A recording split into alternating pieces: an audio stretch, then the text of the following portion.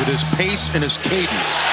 This time it's going to be Payne from deep. And you can tell, I mean, the, the signed shoes that Kobe gave to him, the impact that he's had on not just Booker, but all of these players. Booker trying to be legendary with a potential three-point play. I see what you did with the Be Legendary. That was nice. I'll be here all week.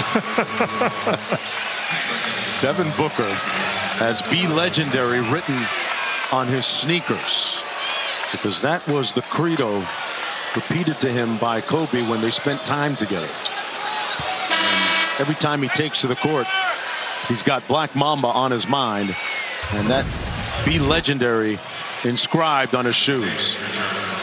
And look at the mistake, the carelessness by Gabriel. He just drops the basketball inbounds, and he can't touch it.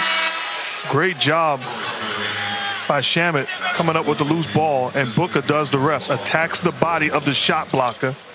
Wow. Gets the finish and the contact.